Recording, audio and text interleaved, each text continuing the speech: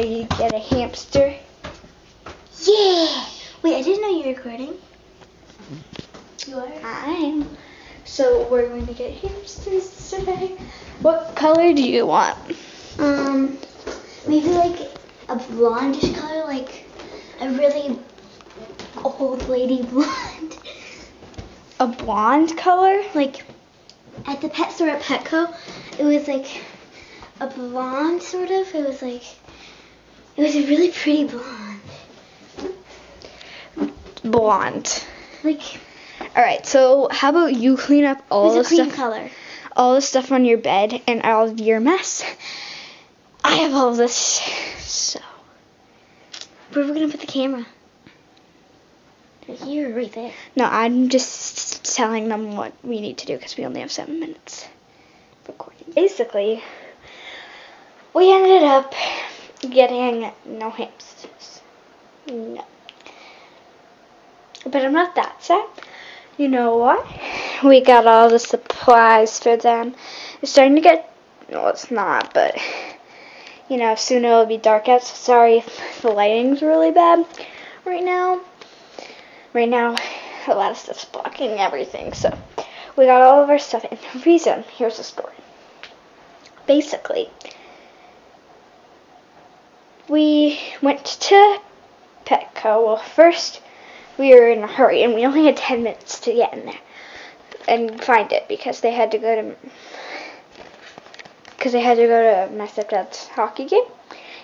And so we did that, and then we went to the store that we thought they were selling hamsters at, but they didn't sell it. So then we had to drive to the other spot, and we had to go through McDonald's drive-through.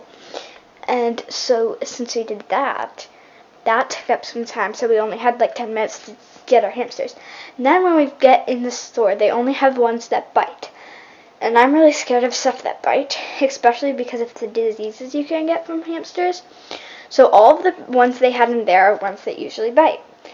So we wanted to get a Chinese dwarf hamster, which I definitely recommend because they don't they're supposed to never bite, like they don't ever bite, like they haven't heard anyone bite, like maybe one. So we're gonna wait until the store has that and my stepsister's sister's only here every other week. So I feel kind of bad for her because I'm getting mine either tomorrow or t- the next day while my sister has to get one. So a little bit later. So yeah, so I'm going to set this up and you guys can kind of see we're putting them on here because we had to get two cages because they don't recommend um they don't recommend it for people for hamsters. They recommend it for like rodents and stuff even though hamsters are rodents. Um, they still don't recommend it.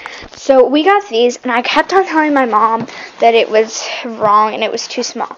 At least, so they only had these, and they had the ones with the tunnels. All right. So the they said that the Chinese dwarf hamsters were okay with tunnels,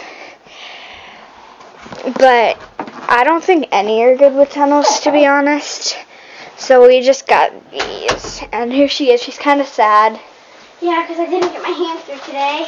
She has to get it in two weeks when I get mine today or tomorrow. Did I get a? Mia's getting the purple